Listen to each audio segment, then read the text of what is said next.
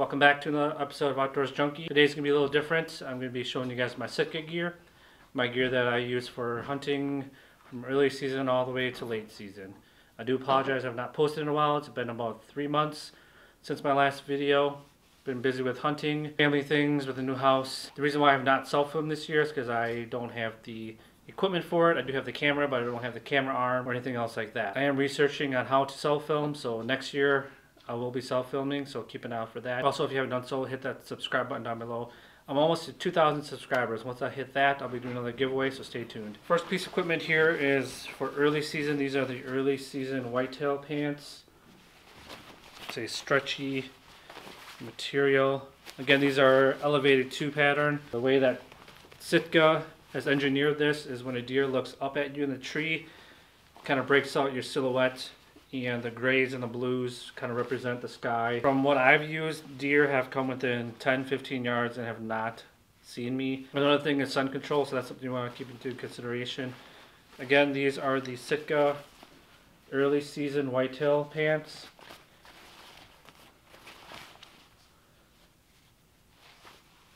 My waist size is a 31, 32-ish, and these are 32. They do fit kind of snug. Thicker clothing does run a little bit small and a more of an athletic fit. So if you do plan on getting these, get like an inch or so a little bit bigger than your actual size. The nice thing about these for early season is that it's really thin and it's breathable. And in the crotch area, it has some netting material. So it helps breathe. And this is super thin material, which is nice. On camera, it sounds like it's kind of noisy, but actually when you wear it, it's not noisy at all. You can move. I do enjoy these for early season just because when you're walking with them, you don't sweat as much. And when you bend and you move, this conforms to your body. So everything is nice and quiet, and the quality is great. It's got two front pockets with some netting material as well. And then two cargo pockets, which is nice. And then the inside of them has another pocket, so it's a pocket within a pocket. You can put that your cell phone or anything else you want in there. It's really nice. And the buttons are quiet. It's got like a rubber clasp right there. So when you put them together, there's no noise, which is really nice. Next piece of equipment I'm using is the, this is the midweight zip tee got some fleece lining material in the middle. Honestly, for early season, when it's in the 70s or 80s, I would probably go with the lightweight, but this is all I got. And I use this next to skin, which is nice. It does get a little bit warm, but once you kind of cool off, it's really nice. Again, this is the Sitka midweight zip tee. This is in a medium. And these, they do run small, but I kind of like the next to skin's just a little bit tighter on me. I'm gonna put it on here just to show you guys.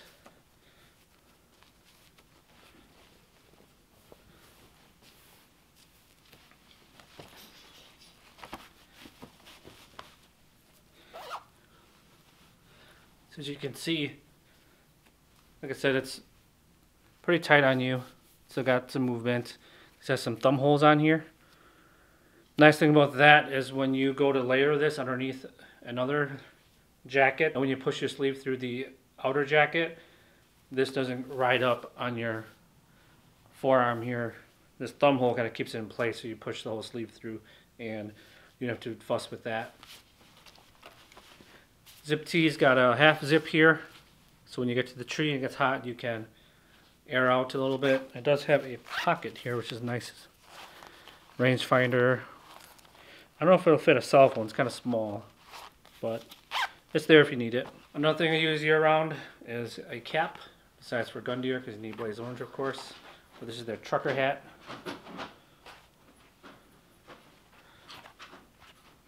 Basic hat, elevated two pattern. When it gets a little bit cooler, um, I wear a base layer underneath the early season pants. Uh, the next to skin base layer to absorb the, um, the sweat when I walk in. And then I put these over. and I can get down to maybe the 50s if anything. And then I wear knee-high boots, the LaCrosse Alpha AlphaBurly. When it gets colder into October, then I put on the Equinox hoodie. This is a really, really nice piece. See there.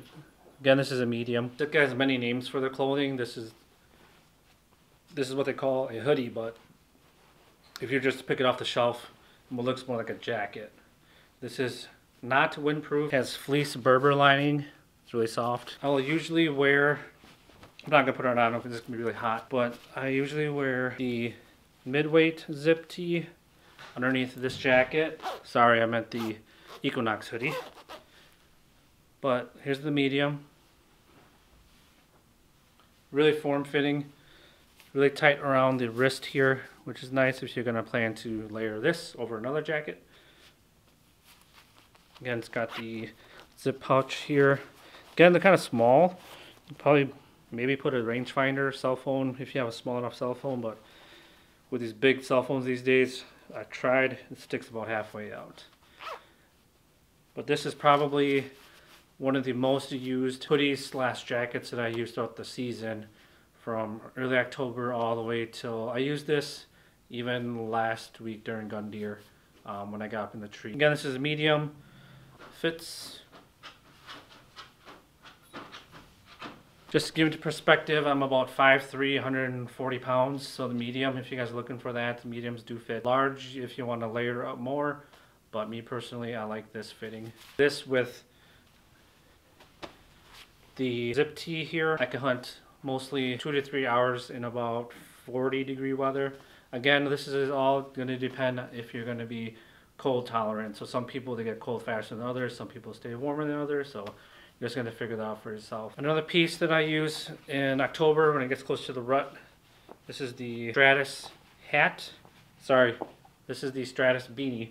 This is the newer one. The difference between this one and last year's model is this one, the ears come down, kind of swoops, and it has a swoop down here. Versus last year's model, it was just a straight beanie. This one's really nice because it is windproof. This one I've worn so far throughout the whole season this year, and it, the coldest I've been out is probably single digits with wind chills, and this one's been really good. Another piece that I use are the merino wool gloves. I actually got these as a gift for an early Christmas present, and I took these out for gun deer and man, merino wool is really nice. If you guys can afford these, they're not too expensive, but these are super warm. You can wear them to your stand and your hands will not freeze. Another piece is the neck gaiter. This thing is warm, super warm. I would advise not to wearing it to your stand. Put it in your backpack until you get to your stand and then put it on. Inside has this fluffy material, which is really nice. Word of caution, I've seen a lot of these for sale that are used and people wash them and they tumble dry it. And this material will kind of like clump up and not be as fluffy anymore. It's kind of like when you wash those puffy coats with the fur around the neck. If you wash those and dry them up, the fur kind of like melts in the washer. It kind of curls up, doesn't look as nice, and it won't perform as good. But this is really nice to have on cold days. Now to late, late season. This is the Fanatic jacket. Really heavy, not really heavy, but it's a heavier jacket. I will not wear this to the stand. Pack it in once you get up to your stand and put it on. I had the Stratus jacket prior to this and that was a really good wind stopper but I had no insulation so when I was in the stand for a couple hours I would get cold even with um, the Equinox hoodie and the base layer, the uh, zip tee, I was still get cold. This here, again, is the Fanatic jacket in the medium. Key features here is the harness hole in the back. A lot of them will either have a cutout back here for you to slip your harness rope through and that causes you to disconnect from the tree, which is really dangerous. So I like the way that Sitka had done here is to just unclasp it. There's a, so you can see it. Hole there, you put this here, and then put it on it's tight. And then it's got a magnet here too to hold everything together. Again, this is a medium. You can feel the warmth right away when you put this on. And one thing that the Fanatic series is known for is the offset zipper. And I can tell you the reasoning here in a bit. When you're bow hunting, the traditional one, you'll have a, a neck piece that kind of looks like this, but this actually comes over. You have your bow at full draw, it's more comfortable. Also, another key feature here is that it does have a magnet. You can see it. There it is. Here that's snapped in place. Keeps this in place. And this has a kangaroo pouch with zippers. And one on top of here, you can put your cell phone in there, which is really nice. The ones that go on that side here, you can put your hand warmers inside of here. And inside of this hand pouch is the same material as the outside. So it's really fluffy and it's warm. It has a pocket up here, a single pocket the inside has another pocket, so a pocket within a pocket. This is the 2020 model. I know the older models, I believe 2018 or 2017 and older, kind of had a design where it had separate um, compartments sewed into here. So you have one side here for a grunt tube and then a bigger pocket for a rangefinder. But Sitka changed it up this year and just made one big pocket with a pocket inside here so you can fit everything in there. And it'll be nice and compact. Again, this is the medium Fanatic jacket. Really super quiet drawing. It does not make a single noise. Key features of this jacket here. It's got fleece lining here, windproof and waterproof. And you can see here on the inside part of the arm, it's not that fleecy material anymore. They do that because this is a right-handed jacket. They make a right-handed and a left-handed jacket. Um, you're going to hold the bow with left hand, of course, if you're a right-handed shooter. And this does not have any fleece material, so you have more room when you draw the bow. And on this side, it's actually fleece material, and then where your elbow bends right here, it's got that, I don't know what they call it, but the non-fleece material, of course. When you bend, you have more movement, which is really nice. When you come to full draw, you're not making much noise. It's really comfortable.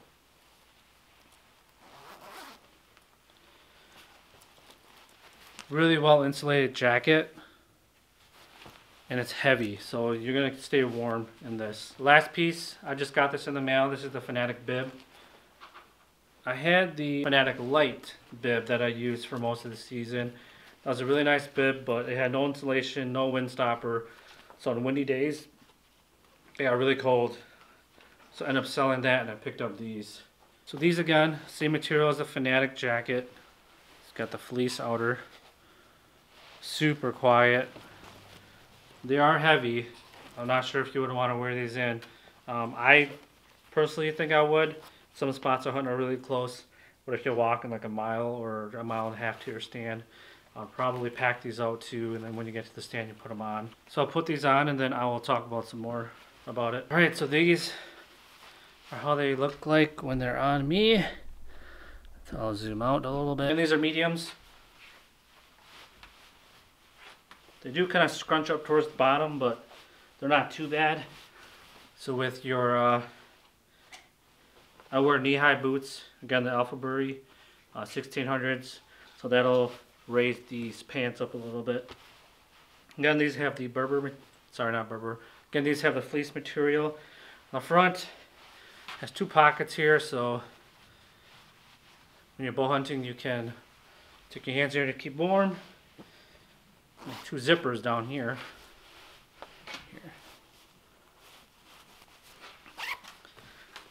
And then the nice thing about these is it's got the fleece material. It has two cargo pockets right here. Pretty deep actually. Then another outer pocket and a zipper. It's got a lot of pockets. And from about your top of the thighs down, it does not have this fleece material. Reason being is because you're walking through the brush, you won't pick up as many burrs on here, which is a pretty smart idea from uh, Sitka. Then on the back here, the fleece material does go all the way down to the back of your uh, knee here.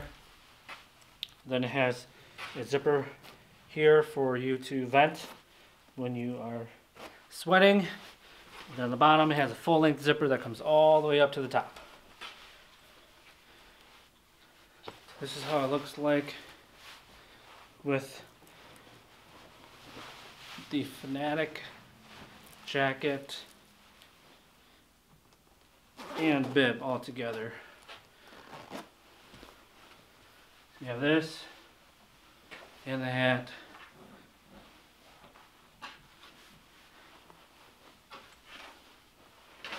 And you can probably stay in the tree for a long time in the cold weather with this. Super warm. Another thing I forgot to mention about the Equinox hoodie is that it does have a built-in face mask. Not as good as a Fanatic hoodie, but this will do if you want some concealment, which is nice. Oh, and also it has a hole in the back here, like I mentioned, for your harness. Again, that's all I have for today's video. Just want to show you guys my Sitka gear. It is pricey, but you get what you pay for. I do get a lot of people asking, why do you spend so much money on your hunting gear and all the clothes that you buy? And it's because you're paying for quality. I can layer up a base layer, the zip tee, and this Fanatic jacket.